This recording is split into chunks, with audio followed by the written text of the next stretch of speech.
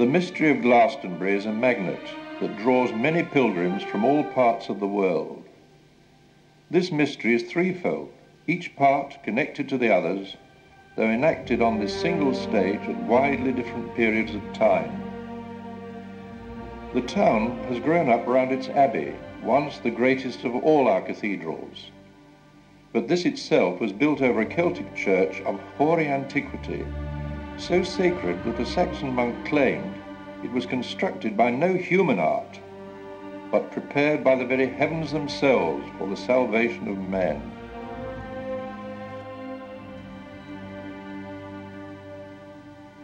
Some said it was built by Joseph of Arimathea, who had fled to Britain with twelve companions soon after the crucifixion, bearing with him the Holy Grail.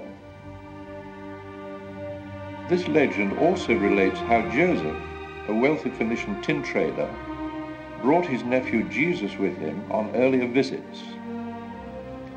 It was this tradition that inspired William Blake to write, And did those feet in ancient time walk upon England's mountains green, and was the Holy Lamb of God in England's pleasant pastures seen? Did they come or not? This is Glastonbury's first mystery. Here at least is where Christianity first came to Britain, and at a very early date. But here too is Arthur's seat. Our earliest saga is centered in Avalon, where he kept his round table. His legends claim Joseph of Arimathea as ancestor of his chief grail questing knights, thus connecting Glastonbury's first and second mysteries together. Arthur and Guinevere are said to be buried here among many kings and saints, including St. Patrick, St. Bridget, and St. David of Wales. Here was a national shrine even before the Saxon invasions. Indeed, Gwyn ap Nudd, lord of the Celtic underworld, held court on the Tor before Christians ousted him. The abbey was called the Secret of the Lord and for centuries held in awe. But what this secret really enshrined is hidden in the landscape below. This is Glastonbury's third mystery, binding all three in one. Its great temple of the stars, the Glastonbury Giants or Zodiac, fount and origin of all these legends. In a huge circle 10 miles across, nature herself has modelled by hills and valleys the 12 signs of the zodiac, partly outlining them by streams. Ancient roads, paths, canals and earthworks complete the drawing. The whole design appears to be a grand geomantic compact between nature and man. Too big to be seen, too good to be true, some say. Yet these figures appear clearly on the map, and about a hundred significant place names and many local legends confirm them. Katherine Maltwood, who found this circle in the 1920s, was a sculptor. Perhaps this gave her an affinity with these great earth sculptures. They appeared as she studied the map while illustrating the high history of the Holy Grail with an itinerary of the knight's quest in Avalon. Written about 1200 in Glastonbury Abbey, the book accurately describes the landscape. And as the knights encountered a lion in their adventures, she was amazed when Leo leapt out at her from the map, his underside drawn by the river Cary. When a giant baby appeared next, modelled by Dundon and Lollover Hills, she remembered that Avalon had long been haunted by a lion and a giant. An astrologer friend realized that their placing suggested Leo and Gemini in a zodiac and soon the whole design was revealed. After long research, she wrote her books Glastonbury's Temple of the Stars and The Enchantments of Britain in the tower of this Victorian castle on the Polden Hills overlooking her zodiac.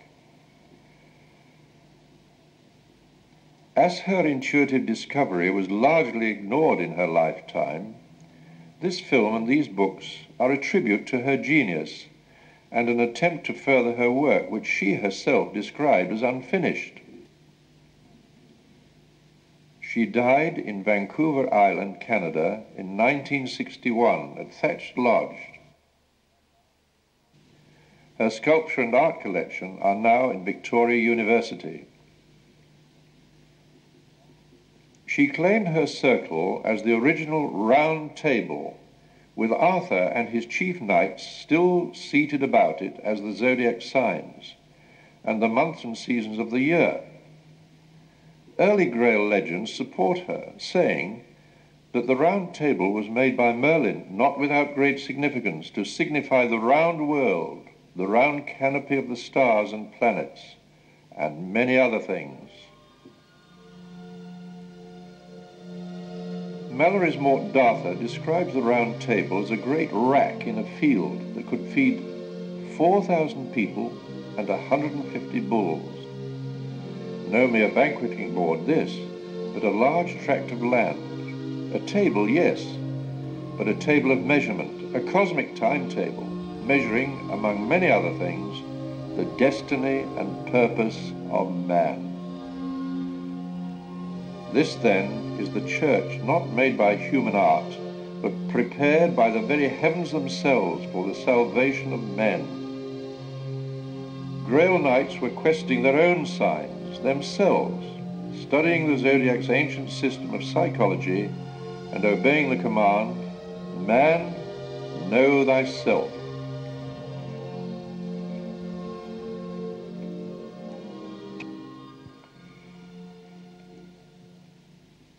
Wells Cathedral, six miles north of Glastonbury, confirms Arthur's time connections in its medieval clock. Jack Blandiver strikes the hour, while four knights its quarters and the four seasons revolve and joust.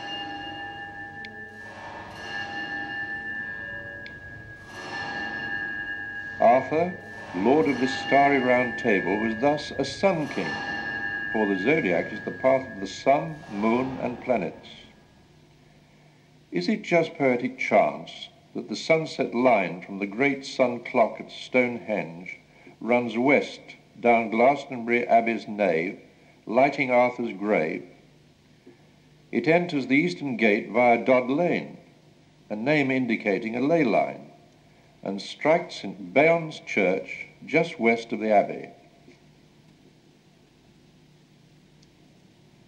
Katherine Maltwood, noting the many Neolithic roads around Glastonbury and the fact that Severn's banks were thickly colonized by megalithic builders, whose route from Chaldea to Britain is marked by stone monuments,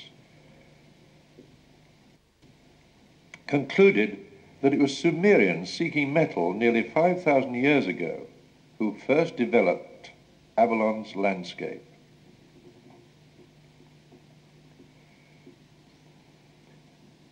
Great astrologers, they recognized a potential zodiac in its hills. Expert in terraced agriculture and irrigation, they completed it with canals, paths, and earthworks, making a ziggurat or maze of the Tor for stargazing.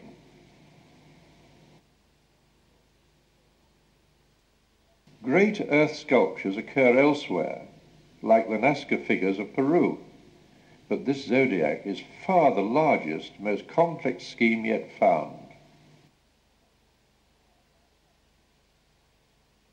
It inspired our habit of cutting hill figures.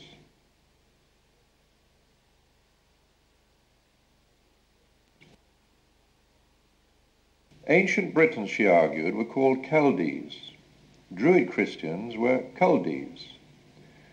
The Welsh Cymry remember their early immigration from an eastern summerland, perhaps the Suma's land.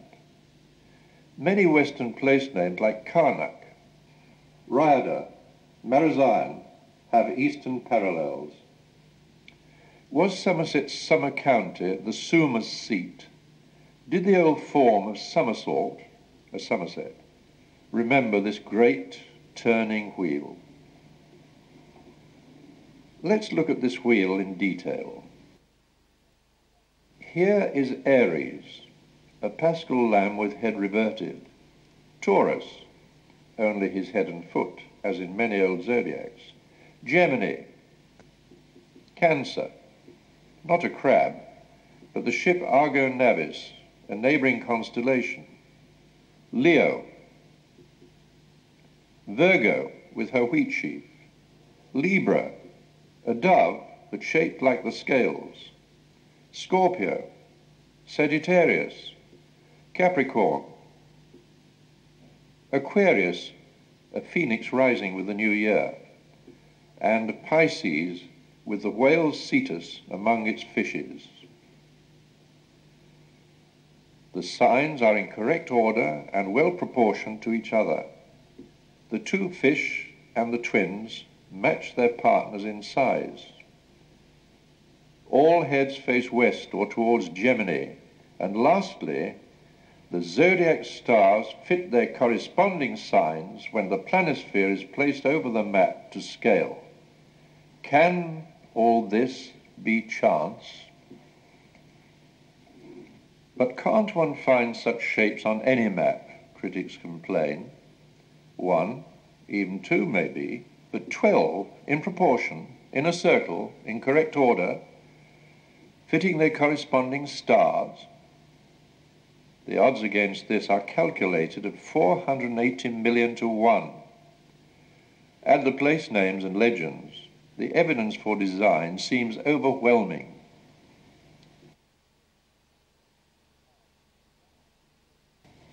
A huge hound guards the circle's western approaches, the river Parrett drawing his underside from his nose at Athelney to his back leg at Langport. He is Arthurian legend's questing beast, whose gurgling belly betrayed him to knights who sought him. This, said Mrs. Maltwood, was the river Parrett's noisy springtide boar. The Somerset Wassail song remembers the girt dog of Langport who burned his long tail. He is girt in two ways. Tethered by Leasway drove to hook on his collar, and girt, great, being all of five miles long. Some twenty-five place names like Curload, Earlake Moor on his ear, and Wagg on his tail show that he was once well known.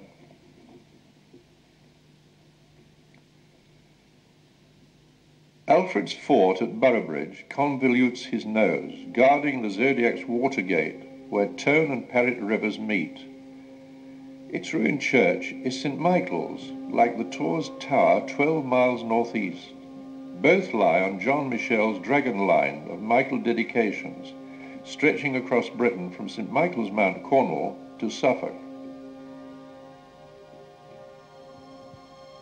Alfred's cakes, burnt at Athelney, were no accident, thought Mrs. Maltwood, but a ritual sop to Cerberus, fed into the tone, the dog's tongue, to placate him before entering Avalon's mysteries. Was Alfred an initiate? His, father's ancestors had Celtic names, and Celtic kings inherited a great secret. To quote an old Welsh poem, there is a greater secret known to few, beside the river of spectres. Cunan shall obtain it when he comes to reign.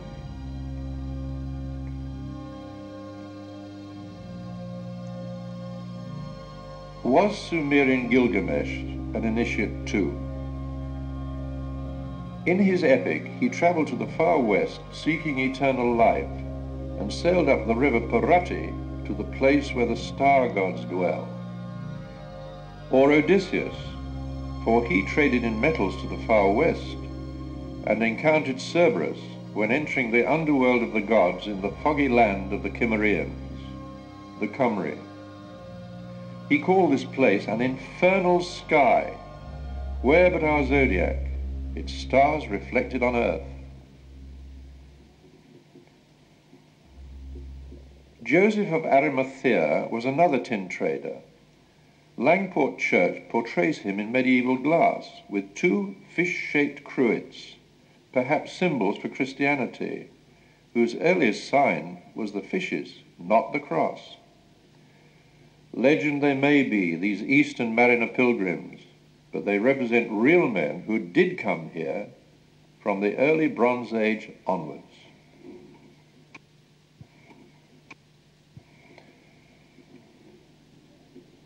Leo was the first figure Mrs. Maltwood found. Ruled by the sun, he represents high summer, as this clue on his tail at King's Weston suggests. Here is Lancelot, surely the lion of the round table. Catsham, Catsash hundred, and Catscore, recall this great cat, whose front paw flattens Somerton, once Somerset's capital, Saxon kings had a castle here on Royal Leo. Lion heads adorn its old market cross. Lions name its ends. Lion and unicorn still support our royal arms, a zodiac secret, for they are its summer and winter signs. Unicorn and white hart stemming from wintry Capricorn. Somerton's footballers are called the Lions. Solar football was once played in the church, marking the sun's passage from east to west. For balls have been found in the rafters. Perhaps the angels caught them. Where better to celebrate the sun than at Somerton, once the summer county's county town?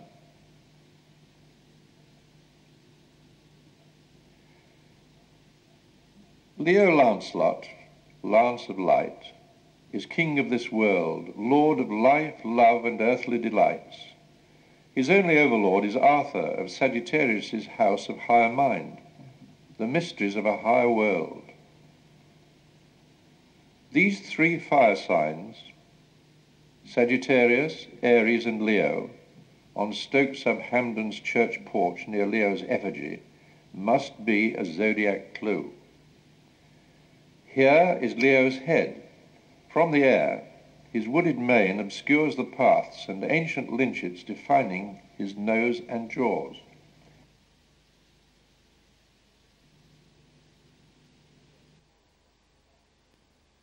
The River Cary draws his underside. Dominating Romans felt at home on Leo. They had quarries here. Their villas bordered Somerton Lane, his back. A Roman cemetery here yielded lion's claws, sun symbol of life renewed. This track forms part of a pilgrim's path round the zodiac, partly defining each figure in turn.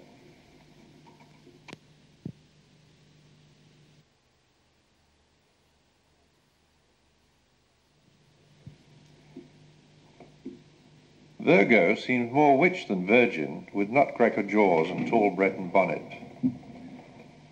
Her wheat sheaf makes her queen of September harvests, and as the River Cary draws her from top to toe, here is the first Old Mother Carey of British folklore, who is also Kore, or Ceres, the Earth Mother of the Middle East, goddess of cereals.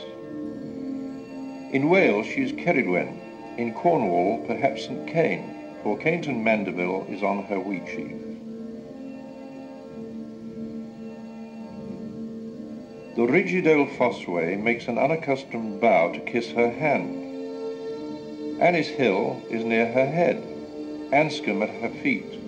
So she is also Black Annis, the old British witch. Anne is always the mother of the Virgin. On her breast is a large barrow called Wimble Toot. Toot, an old form of teat, often named mounds and hills. Poetic ancient Britons saw these as the breasts of their earth mother. Much of London's milk, collected at Wincanton, comes from Virgo's fertile dairyland.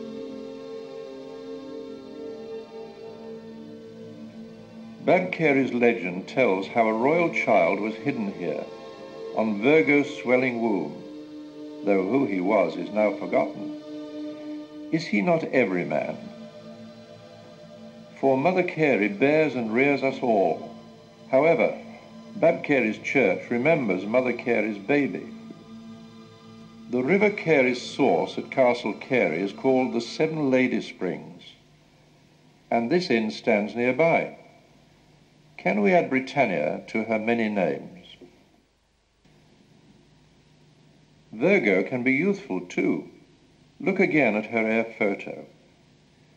Traces of another face appear, young and beautiful, with two hollows for eyes that still flood after rain, a farm lane for nose, a deep ditch, now sadly filled in, was her smiling mouth.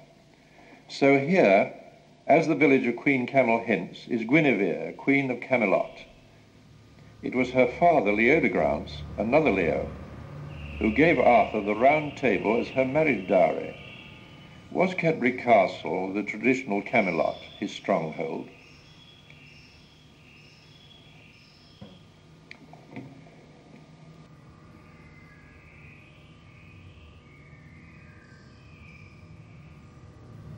Did Guinevere then love Lancelot as a father figure? She leans with longing towards Leo's fireside, forsaking wintry Arthur the earth goddess prefers her sun gods hot. Here is her head and wheat sheaf, even 10,000 feet up. This is all we can see of her at once, for this queen of the land is four miles long.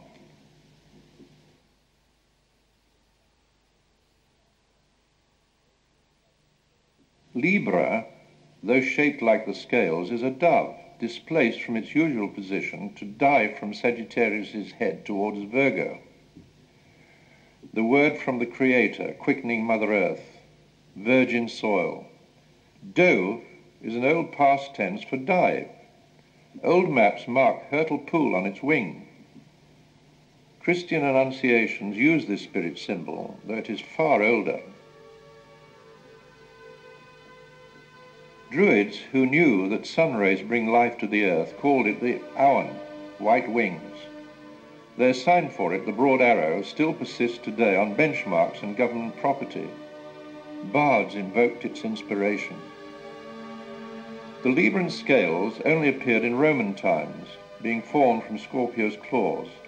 As Libra is displaced here, its stars don't correspond, but the plough stars which do fall on the dove are eloquent. Chaldeans call them Bel Mo Sarah, Lord Bel's word from the stars. Here is the dove from the air. Like Libra, it is an Aries sign. Both are peaceable, gentle, communicative.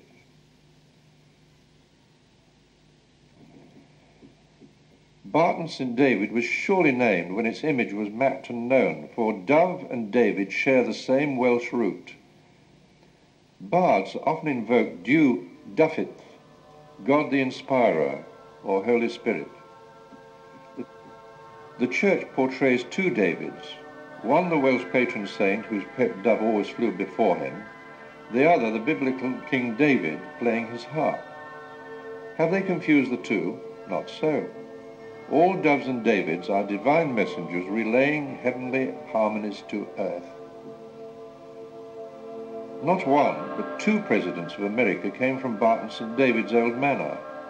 Their descendant, Evangeline Adams, was the first to broadcast astrology by radio across the United States. The dove relaying its message. They say that St. Dunstan, alchemist abbot of Glastonbury and advisor to Saxon kings, was baptized at Tootle Bridge on the dove's wing.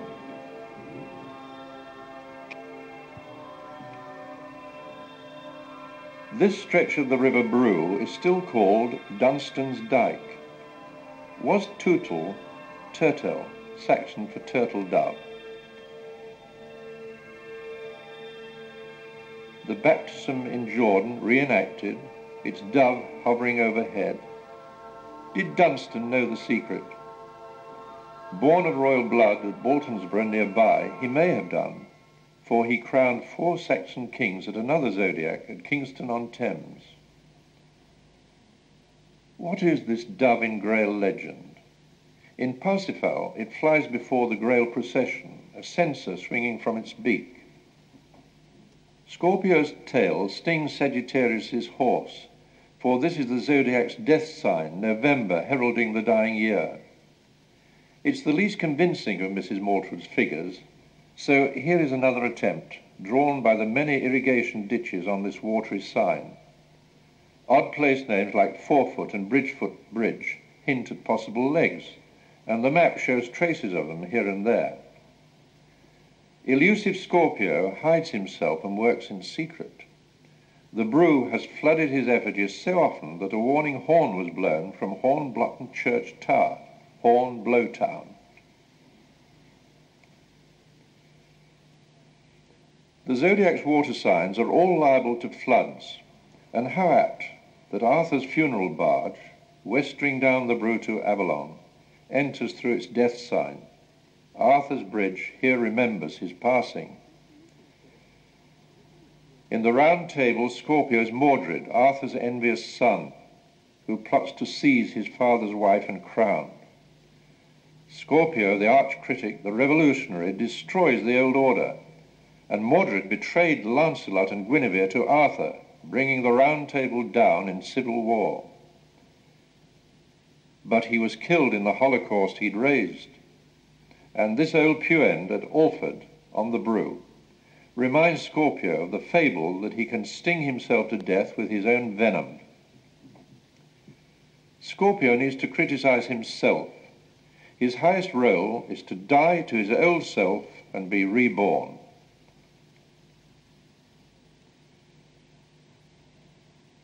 At Church off the Fosse Way, famous for gargoyles, a medieval mural shows martial Scorpio at his best.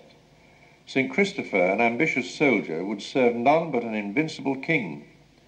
But as each in turn was vanquished, he despaired of worldly glory, turned hermit, and used his great strength to carry travellers across a torrent. One stormy night he took a child across, but its weight increased until it seemed he bore the whole world on his shoulders, and stumbling, only just reached the further bank. It was the Christ child, the invincible king at last.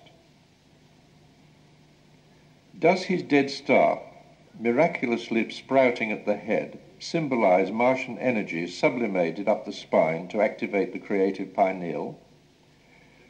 This Assyrian priest, with his scrotal bag in one hand, pineal cone in the other, suggests this teaching is far older than Christianity.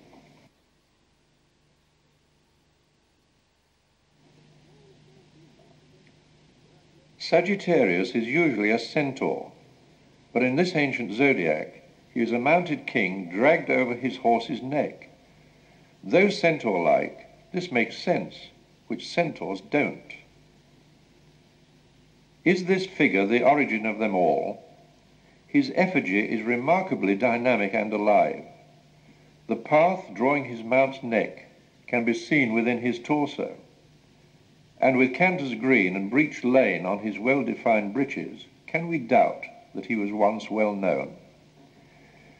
His helmet and beard are strangely Sumerian in type,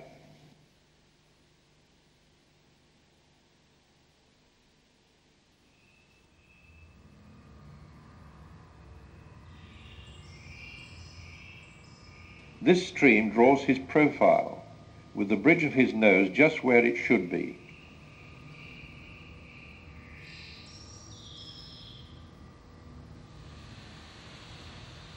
On his forehead is a little waterfall named Baltonsborough Flights. Did they mourn here the flight of Bel's departing spirit? For the water rushes down like life blood into the fleeing dove's wing. And was Baltonborough's Pyramid Hill on his back once sacred to Bel? For Sagittarius is the Sun King of many names who must die for his people and be forever reborn. On his back fall the stars of Hercules, the sun hero whose twelve labors typifies the initiate struggles with the zodiac houses of his own nature. In the east, Sagittarius was the sun god Ahura, to Britons he is Arthur, Mort Darthur, the dying son of December, yet destined to rise again. His great shadow, long forgotten, still lies stretched across five miles of the vale, always associated with his name. Arthur's dreams echo our zodiac. In Layamon's Brut, he dreams that while his hall falls down, a lion takes him in its jaws to the sea, where a whale swallows him, spewing him out Jonah-like after three days. In other legends, he dreams before his last battle that he sits in state high on fortune's wheel, till at midday she frowns and turns it, throwing him upside down among venomous beasts who all take him by a limb. On our wheel, he is indeed upside down, stung by Scorpio from ominously named Hell Ditch, the whale's jaws and snake's head mangling his arm.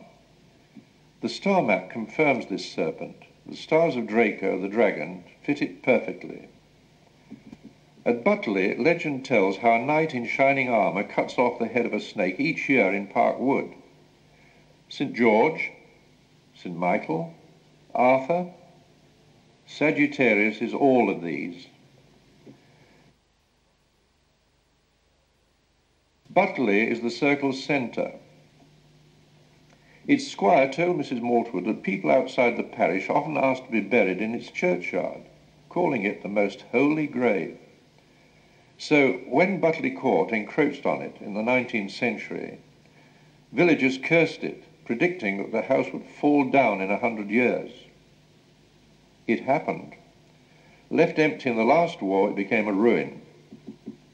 However, it is now rebuilt as flats.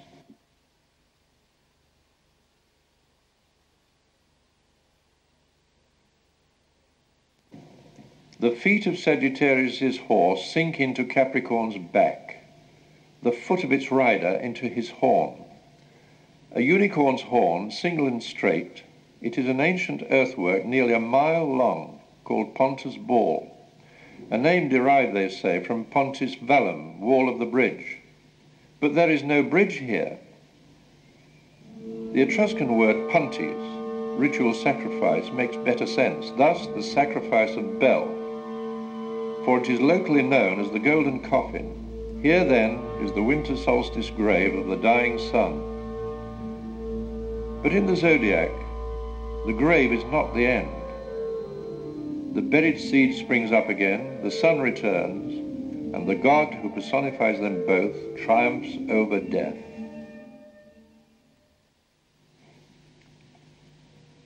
Capricorn is both unicorn and white hart in heraldry.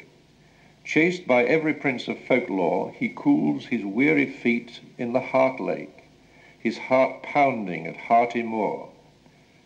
A goat, they say, still haunts the tor. Two aged oaks, Gog and Magog, on his nose, may be descended from a druid grove, for Capricorn, ruled by Saturn's old father Time, is Merlin, Arthur's druid, heir to ageless wisdom. Capricorn is man, slowly evolving through time, trial, and error. His feet are in primeval slime, but launched from Launcherley Hill, he noses the Tor. For goats are born to the mountain, and man to immortality. His goal, the Tor, is the hill of resurrection, ascension. A finger pointing heavenward, it dominates the landscape. It models the head of an eagle or phoenix, which stands here for Aquarius. Both birds denote rebirth. This bird is a water carrier too, for it bears chalice well in its beak.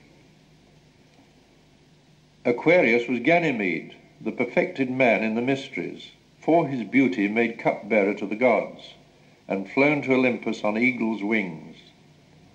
There's an eagle on the Tor's tower. The phoenix, a calendar bird, flew dying to Heliopolis, Egypt's city of the sun, burnt itself to ashes in a funeral pyre of spices on top of a pyramid, and flew away reborn. Surely Ashwell Lane and Cinnamon Lane on the Tor's pyramid remember this, while Actis Fields below celebrate Actis, son of Sol, who founded Heliopolis. These ancient myths stem from the zodiac, which taught that here, at the eleventh hour, was the escape from the recurring wheel of lives, but only for those who had mastered all its tests. Those who fail return to life's school once more, through Pisces, in water. where all life begins.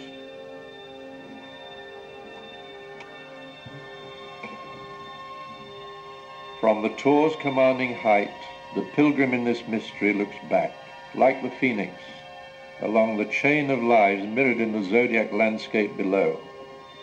Drinking the water of life at Chalice Well and gazing into its depths, he sees his own nature and purpose reflected.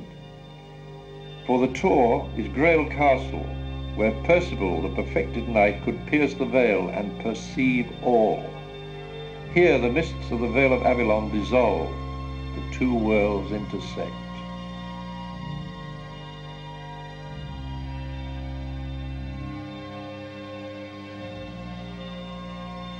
In this well, they say, Joseph of Arimathea hid the grail containing the crucified Christ's blood, making its waters ever after run red.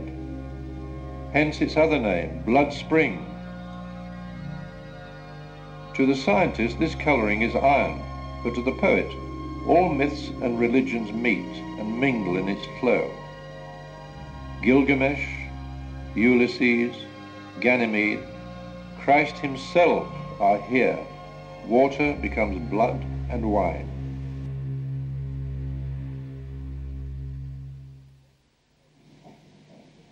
Legend tells how Joseph, landing on Pisces Weary Hill with his twelve companions, wearied all, planted his staff here. Sprouting, it flowered magically at Christmas as well as Easter for centuries until an angry Puritan cut it down. But cuttings planted here and round the Abbey still flower at these times. Sprays are sent to the Queen at Christmas to prove it, and botanists class it as a Mediterranean thorn.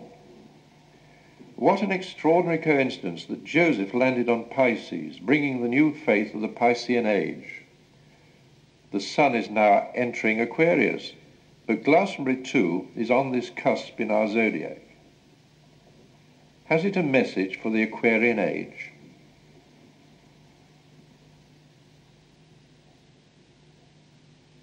Piscean Weary All, also called Fisher's Hill, is clearly fish-shaped. It is the Fisher King's Castle of Grail legend. Pomparles Bridge, the perilous bridge in those legends, is on the fish's mouth. Here, some say, Arthur threw Excalibur into the Brue. This river draws the whale, who drags the Sun King down at sunset and year's end into the sea. With Scorpio behind him, is between the devil and the deep. But whale's jaws on the Abbey gate hang like a trophy from this unending battle of darkness and light. Joseph has an underground chapel in the abbey. Old records tell how King Arviragus granted the missionaries the famous twelve hides of Glastonbury to maintain them. Were these not the twelve hidden figures, the zodiac animal hides, entrusted to Christians since the Druid collapse? The Romans destroyed the old Druid order in 61 AD. Joseph is said to have come here in 63.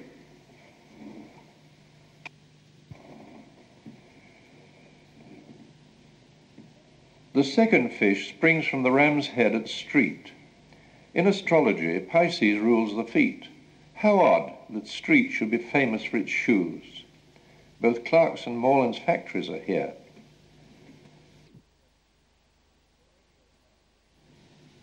Aries' ram is hornless, his head reverted like the paschal lamb. Still, he is ruled by Mars and shows battle scars on Walton Hill. Note how the fields model his haunches. No surprise that Street is also famed for sheepskins. Is this the first golden fleece sought by Jason? His ship Argo lies just below. Young, bold, pioneering, Aries is just like Gawain, Arthur's nephew, the first to seek the Grail. Aries is the zodiac's first sign, but like Aries, he soon tires and fails to finish his quest. Taurus is more solid. As the zodiac's house of money, he must be wealthy Sir Ector, chosen by Merlin to foster the infant Arthur and faithful Taurus, Hector Protector, oversees the Gemini Bay. Ancient lynchets carve his horns. Collard Hill is on his collar. An unconscious impulse to add another horn has crowned him with the Hood Monument, and aptly, Admiral Hood on the bull received the Order of St. Ferdinand.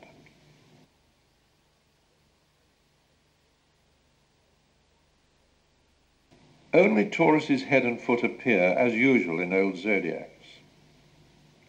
His position due east in the design helped Mrs. Maltwood date her find, for a line drawn from his star Aldebaran to Scorpio's star Antares bisects the circle east-west. These are two stars of the Grand Cross, which in 2700 BC marked the main compass points Sagittarius's finger points to the circle's center, and his eye and that of Taurus both lie upon this line. The archer aims at the bullseye. These, among other clues, convinced her that this zodiac was developed in the dawning Bronze Age, when Taurus was the zodiac's first sign.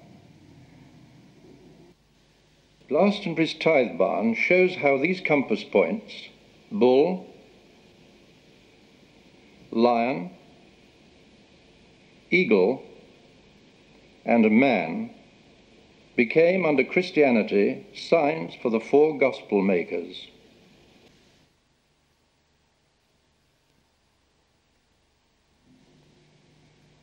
The bull's foot rests on a ship's mast as the crab's water sign is missing, this ship, equally aquatic, takes its place. Argo Navis lies near Cancer in the sky. The moon rules Cancer, the zodiac's maternal sign, and this crescent ship cradles a baby. It is the moon boat of Isis and Horus, her babe, the crescent moon of Mary, Queen of Heaven, with her divine Son. Could the crab say all this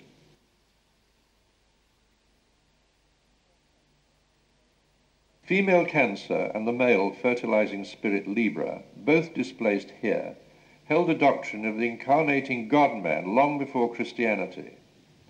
Cancer, the vessel of nature, must bear the man to whom all the zodiac creatures turn in hope.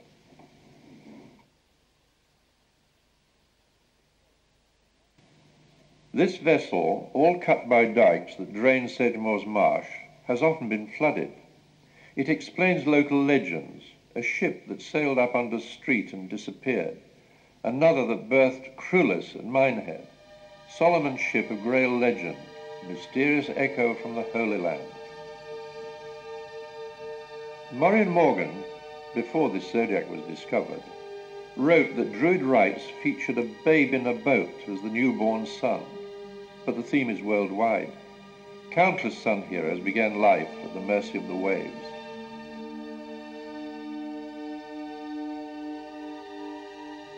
The second twin lies nearby, on Bankham and Bradley Hills, in a meditative half lotus. This lane draws his chest. Sirius, brightest of stars, marks his heart, where springs hopefully respond.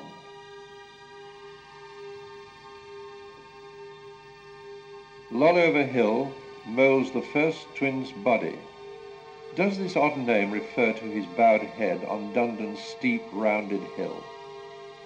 These hills together resemble a giant babe half buried in the earth, and with Whewell's fish doubtless helped the first colonists to recognize the zodiac.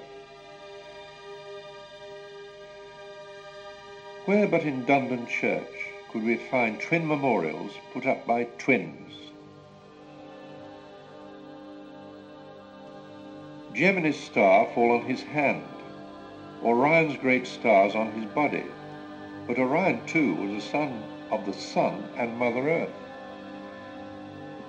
So here in Solomon's ship, the ship of Sol the sun, sits the young sun, submissive to his royal fate. Like his father, he must die for his creation. Here is a double image, at once child and man, his Christ-like head, though striking, is far older, being profiled by ramparts of a Bronze Age camp, Yet ramparts use the steepest contours, so nature herself, it seems, traced him first. Ancient fields and lynches define his ribs. A barrow on Dundon Beacon is his pineal. When lit, he becomes Taliesin, radiant brow. William Blake said, all religions are one.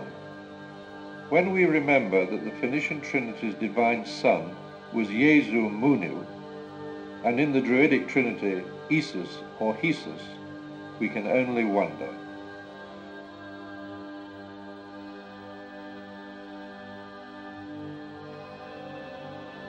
Galahad, the Round Table's Christ-like knight, must stem from this effigy.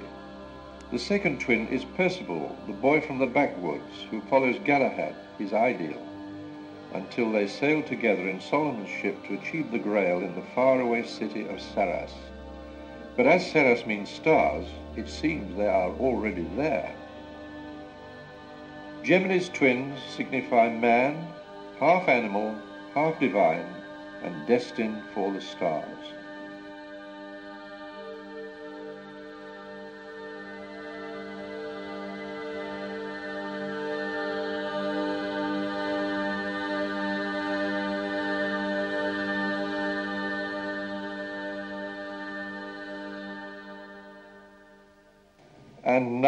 To sum up what we can glean from this zodiac's message. Restoring cosmic meaning to ancient doctrines, it unifies all faiths and faith with science.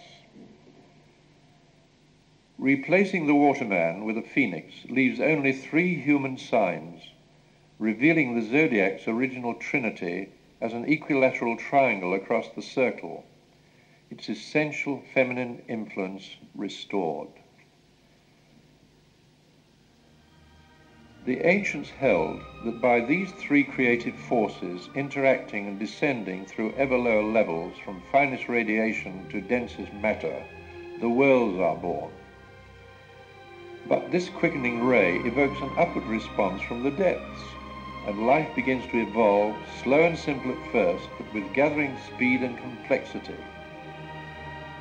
The seasonal cycle of birth, growth, and death thus engendered is no vicious circle, but shows that evolution had both direction and purpose.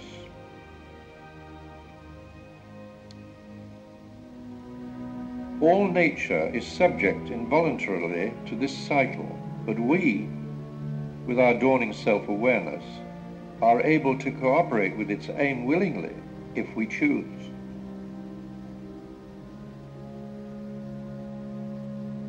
The zodiac signs typify all animal life from fishes and crustaceans to man and show the development of eons compressed into nine months in Gemini's fetus.